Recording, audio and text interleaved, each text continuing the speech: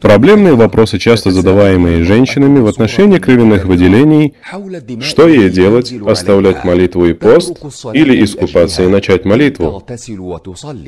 Одним из них хайд, то есть менструация. Это естественное кровотечение, выходящее из утробы в определенные времена.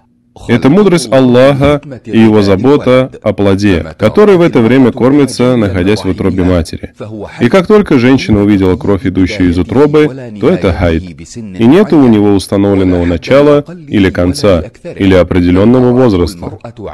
И нет границы минимального его срока или максимального. Все, что женщина увидела периодически повторяющееся, будет хайдом. И чаще всего он длится 6-7 дней. Очищение происходит, когда выходит выходит белое выделение. Эта белая жидкость выходит после прекращения хайда. Те же, у кого не бывает этого выделения, то очищением считается полная остановка кровотечения. При менструации женщина оставляет молитву и пост.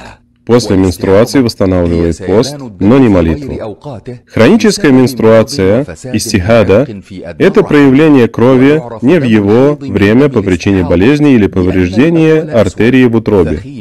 И главное различие хайда от истихады – то, что менструация черная и густая, с плохим запахом и при выходе не застывает. При истихаде же кровь красная и жидкая без запаха и застывает при выходе.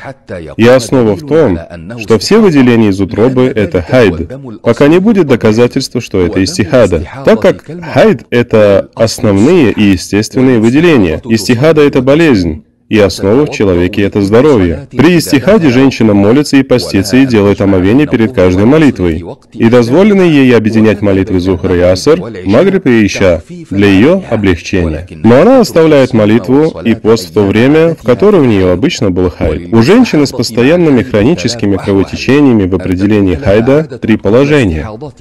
У нее есть свой график хайда, и она тем самым оставляет молитву по графику, потом купается и делает намаз.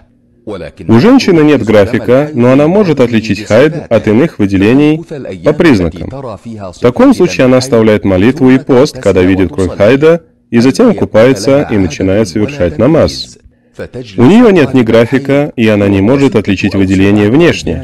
В таком случае она оставляет среднее количество дней, 6 или 7 из каждого месяца. А что касается послеродового кровотечения, то это кровь, выходящая из утробы после родов, и нет границы для максимального его количества или минимального, но в основном она бывает 40 дней. Сказал Уму Саляма, да будет доволен ею Аллах, во времена пророка, саллаллаху алейhi вассалям, после родов, женщины не молились 40 дней.